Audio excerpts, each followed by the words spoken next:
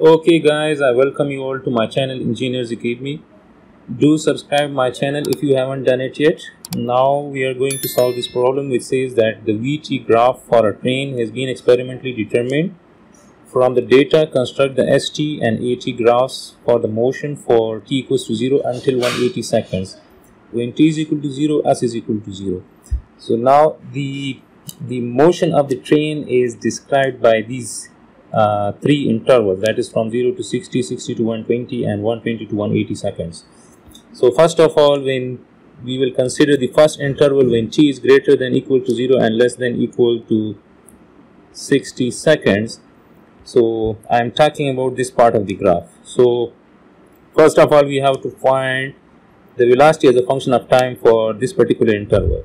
So we will take an arbitrary point on this line. Let's say we will take some point here.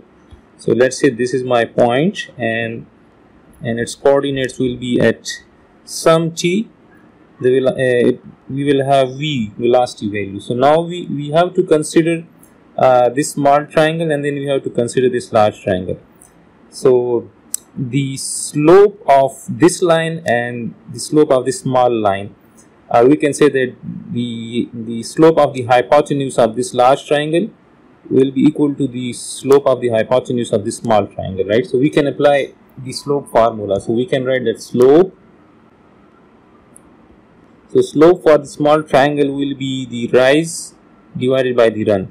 So for the small triangle the rise is v minus 0 so we can write that this is v minus 0 and the run is t minus 0 so i will write v minus 0 divided by t minus 0 and this will be equal to the rise of the large triangle right? So the rise of the large triangle is uh, 6 minus 0 this 6 minus 0 so 6 minus 0 is 6 and this is the run is 60 minus 0 so this will be 60 minus 0 is 60 and similarly this v minus 0 is v and t minus 0 is t and now uh, 60 divided uh, 6 divided by 60 is 1 divided by 10 or we can write that 1 divided by 10 is 0 0.1 so 0 0.1 so now we can write that v is equal to 0 0.1 t. If we multiply both sides of this equation by t so we get the velocity as a function of time for this particular interval.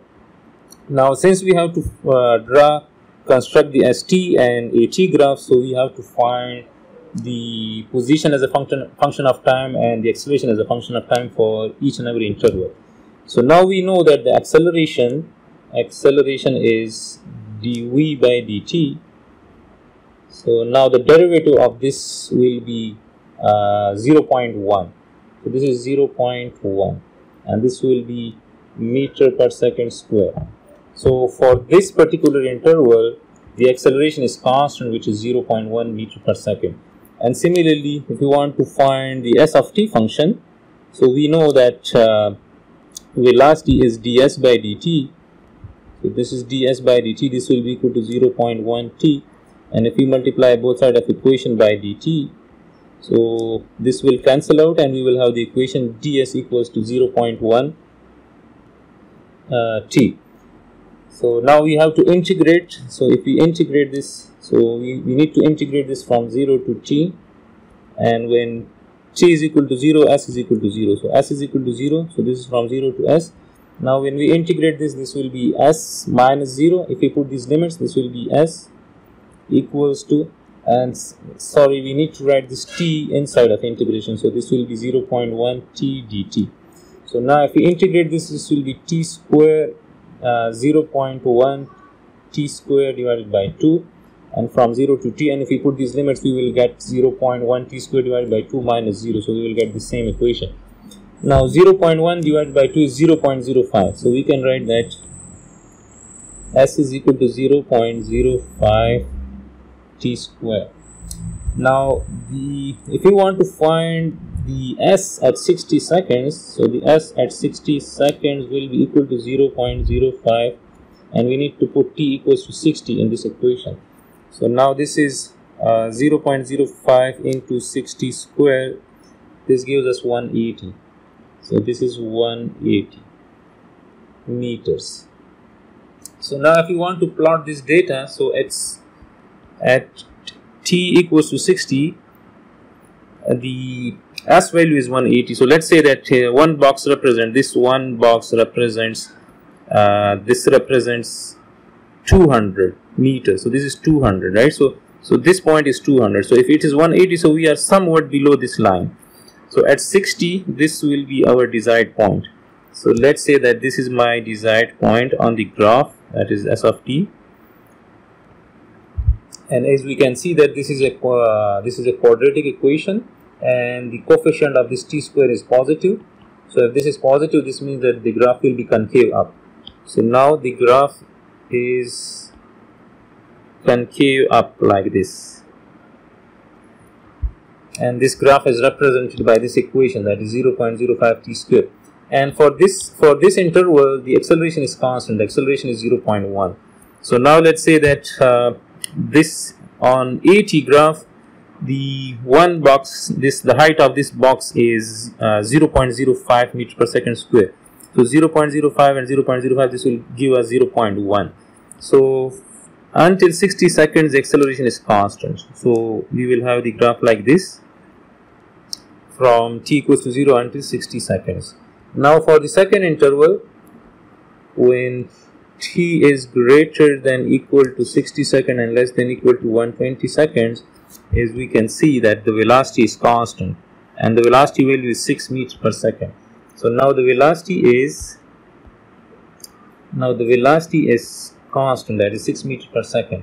Now if the velocity is constant the acceleration will be equal to 0 since dv by dt is equal to 0 so now for the second interval the acceleration is 0 the train is moving with constant velocity.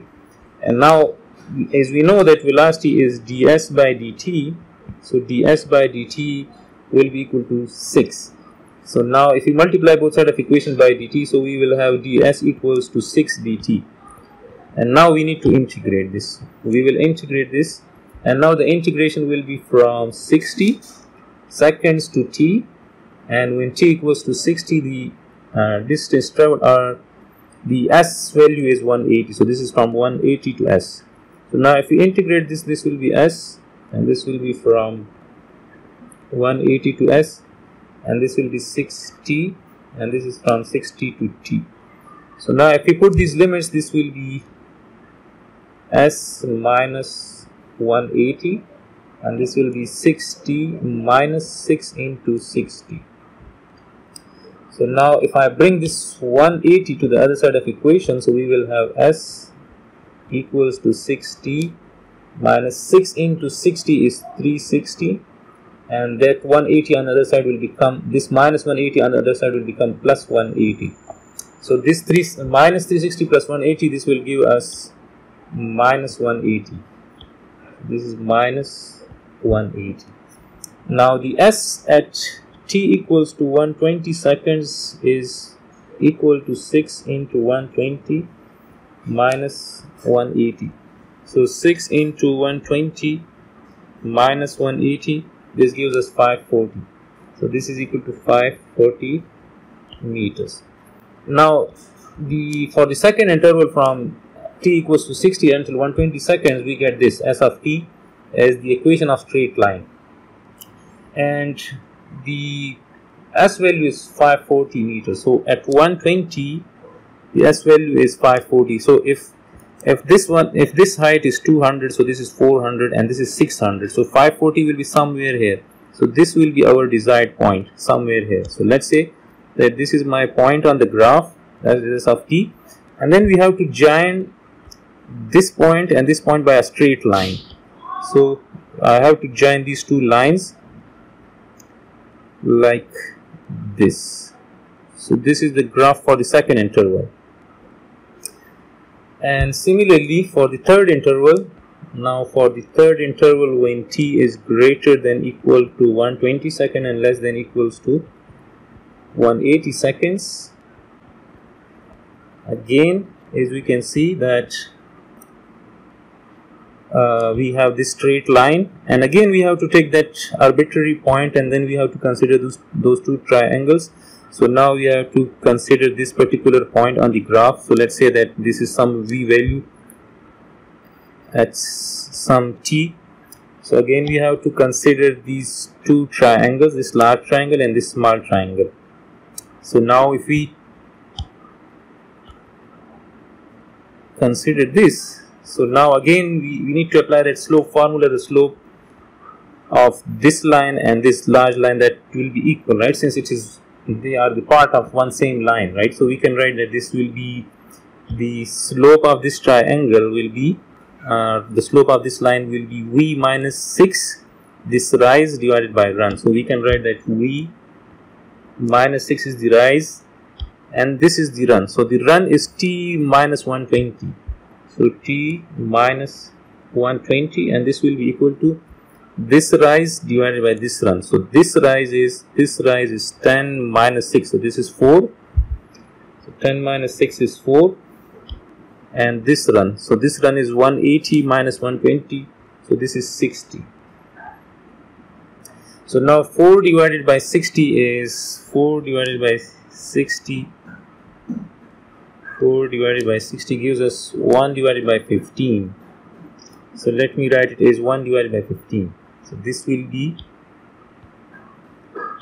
1 divided by 15 and now if I multiply both sides of equation by t minus 120 that is t minus 120 so this will cancel out and we'll be left with v minus 6 equals to uh, 1 divided by 15 into t minus, uh, 1 divided by 15 into 20, 120 so this answer multiplied by 120 so this gives us 8 so this is minus 8 and now if I bring this minus 6 to the other side of equation it will become positive. This is plus 6 and this is now the velocity is 1 divided by 15t and this will give us minus 2 this is minus 2 let me write this as minus 2 so now this is the velocity as a function of time for the third interval that is from 120 to 180 seconds. Now to find the acceleration for this given interval we have to take the derivative of this equation right since we know that the acceleration is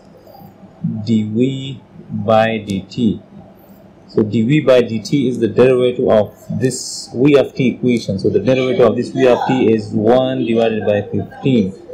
So 1 divided by 15 is 0 0.067 so this is equal to 0 0.067 meter per second square. So the acceleration is constant for this third interval. And now to find the s of t function uh, we know that uh, velocity is ds by dt. And we know that the velocity for this particular interval is equal to 1 divided by 15 1 divided by 15 t minus 2 and in order to have s of t functions we need to multiply both sides of the equation by dt so if we multiply both sides of the equation by dt this will cancel out and we will have ds equals to this uh, velocity functions times dt now we need to integrate both sides of the equation. So we need to integrate this. Now the integration will be from t 120 seconds this is from 120 until t and when t is equal to 120 the s is 540 so from 540 to s we need to integrate uh, the left hand side from 540 to s. Now when we integrate this so this integration will cancel out with this d so we will be left with s and this is from 540 to s and the integration of the right hand side will be 1 divided by 15 t square divided by 2 minus 2t and this is from 120 to t.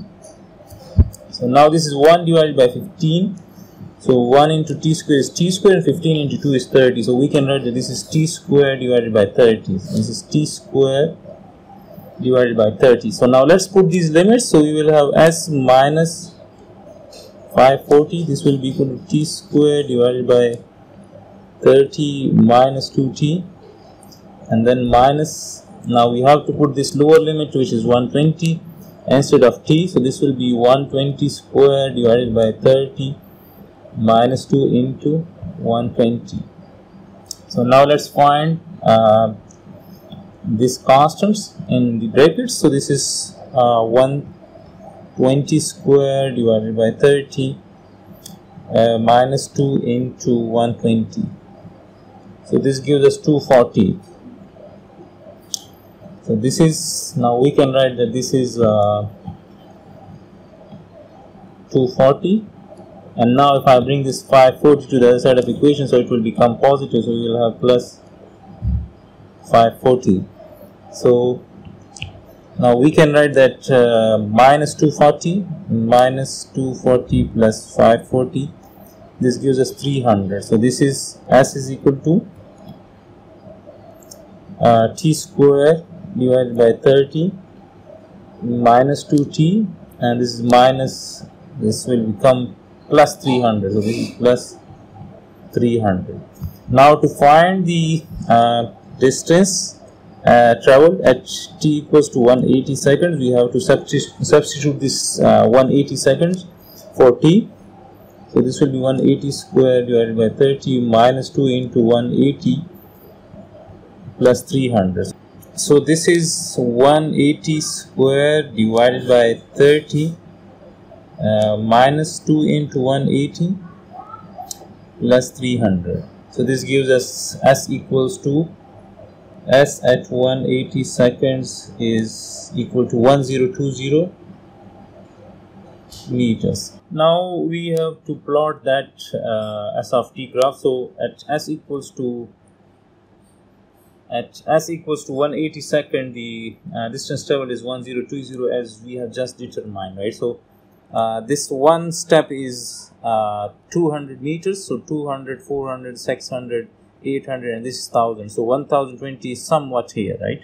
So at t equals to 180 we are somewhere here right? So let's say that we have that point here that is 1020 and since the s of t function for the third interval is a quadratic equation this is a quadratic equation and the coefficient of t square is positive so then uh, it's a parabolic curve and it's going to be concave up like this. So we can join uh, these two points this point and this point by a, by a parabolic curve like this. So this will be our final s of t graph. This is our final s of t graph this is the straight line this is the parabolic curve and this is again the parabolic curve. And similarly the acceleration in the second interval is zero.